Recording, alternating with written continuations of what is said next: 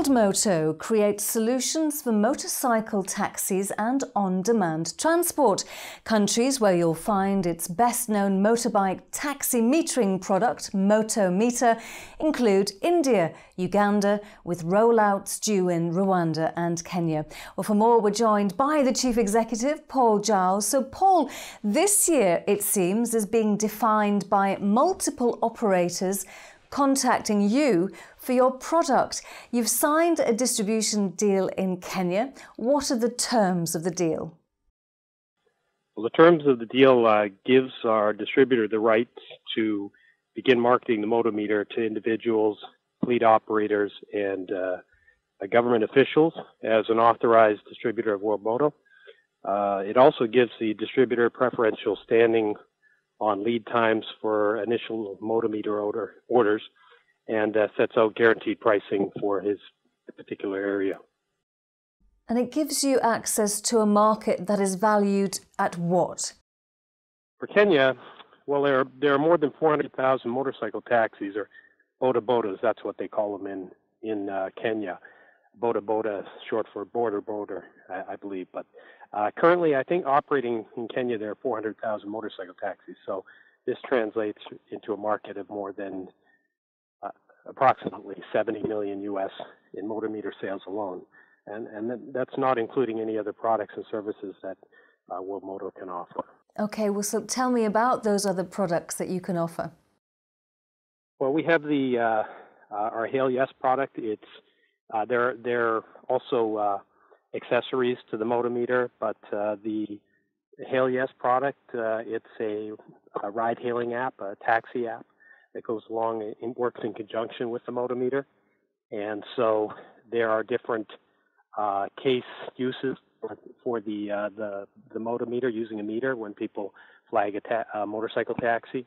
Uh, so this way they can use the software and the and the hardware, and there are a number of services that we can uh, we can charge for through the uh, through the software. So, how customizable are your products, bearing in mind they are being used in diverse territories? Well, that's true. I, I guess we, we work with all our customers to, to tailor the MotoMeter to their region, uh, including co-branding capabilities. Uh, we have a software developers kit, SDK, uh, that allows our partners and resellers, value-added resellers, to, to, create a variety of products and services that are they're completely customized for their target market. We are definitely in, in a lot of vibrant countries. We get we get contacted from from Nepal to uh, I mean all, all really all corners of the world. It's a very interesting business to be in. Well, the sub Saharan economy has been described as vibrant as well. It's being defined by the explosion in the mobile ecosystem. How are you capitalizing on this? Mm-hmm. Yeah, that, well, as, as I mentioned, the, the MotoMeter is designed with uh, mobile ca- connectivity in mind. So uh, you have real you have real world scenarios uh, that uh, that show over and over that a hybrid solution uh, utilizing both the, the mobile phone and, and the taxi meter offers the uh, the best customer experience.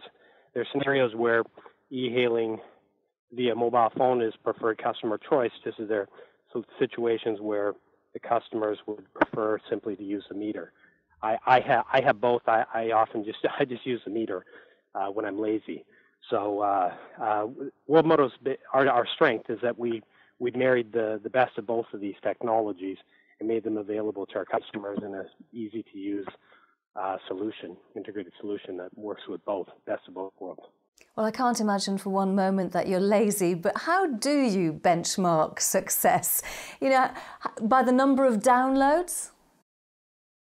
Uh, this, success is benchmarked not necessarily by by downloads, uh, but by the total number of trips uh, facilitated by the MotoMeter and and the Yes uh, software. So it uh, you have, for for example, uh, there are well over uh, 30 million motorcycle taxis of varying types around the world, uh, and they perform approximately upwards over 500 million trips a day worldwide, which is a which is a, a lot more than the taxi industry, which is a tiny fraction for taxi cabs, as an example. Like here, here in, in Thailand, in, in Bangkok, there are over 300,000 motorcycle taxis just in Bangkok alone.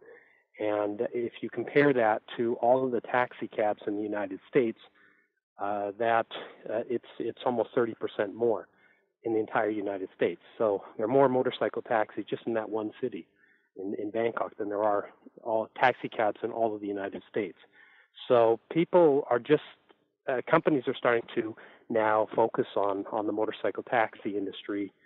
Uh, they're starting to realize just how how big it is and how versatile the motorcycle taxis are in uh, in these different places. They're in over 100 countries worldwide, and and counting.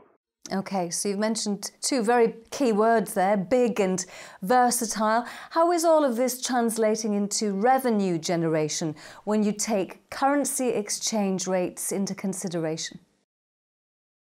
Well, um, I don't know. The currency exchange rates, I mean, we charge the same for the motometer. Uh, the motorcycle taxi operators are generally considered middle class in most countries where they operate. Their, their earning power is equal to or greater than the salaried employees in, the, in their region. They have the ability to afford these tools and technology that are critical, obviously, to their trade. Motorcycle being one. Uh, the cost of motor motometer, uh, for example, is is only a small fraction of the cost of motorcycles. So they already have the mechanisms in place to accommodate these types of purchases that way. So so uh, the uh, the amount that we're charging, we're not. It's the same for every region, and basically it's it's uh, we discount on volume on orders of larger numbers. Okay, so finally, in terms of your your product and what you offer, do you see it as being purely applicable to emerging markets, or is it something that the established global markets would appreciate as well? Well, the that's a, that's a good question uh, because, for instance, for investors, people, uh, for people just in the UK and in in America, as an example, North America, UK actually people travel outside. People travel the world, so they're very familiar. Uh, probably if they've traveled outside of the UK, they probably have traveled to some country that has uh, they've seen motorcycle taxis. It's not the case for for many Americans. So uh, in our case, we we patented the motor. We we applied for patent uh, for the motometer in 61 different countries. All of the countries are countries that have the largest uh, um, uh, motorcycle fleets in those particular countries. But they're in over 100 countries, and those countries, those 61 countries, represent almost 90% of the Earth's population. So so it uh, the remaining uh, five percent if we if we don't sell many motometers in, let's say, the United States, I don't think it's going to hurt our bottom line very much. But uh, I think that it's it, it is changing, and you're seeing other other com- countries, uh, let's say Western countries, uh, you're starting to see that. Uh, you know, London has uh, several, seven I think uh, firms, Virgin Limo Bike, and a number, and obviously these are high-end services, but but they're still experiencing growth and and and nationally also throughout Europe as well. So I think mass adoption may be a ways off uh, for certain parts of Europe, but for the rest of the world, there's just huge, huge numbers, and their growth has has just been amazing. For one example is Brazil. They were introduced in Brazil in 1996, and uh, they had less than let's say a thousand or a few thousand, and now they number close to 1.7 million.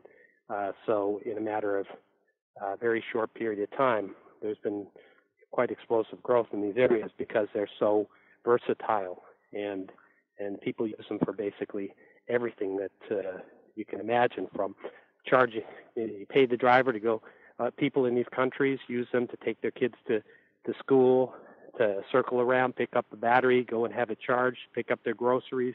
Uh, they use them for for absolutely everything so I think that uh, I think that the rest of the world uh, will start to hear hear about them and see about them, probably through their taxi apps at first, and then hopefully through us later.